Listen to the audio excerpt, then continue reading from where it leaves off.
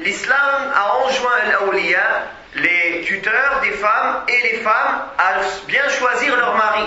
Et le prophète sallallahu alayhi wa sallam a dit, si se présente à vous celui dont vous acceptez son comportement et sa religion, mariez-le. Sinon, cela engendrera trouble et vaste corruption sur terre, comme a dit le prophète sallallahu dans le hadith rapporté par Ibn Majah. Din, c'est une croyance, c'est une pratique, c'est des politesses, c'est un comportement. Ce n'est pas juste porter la barbe et un camis ou bien mettre un djilbab.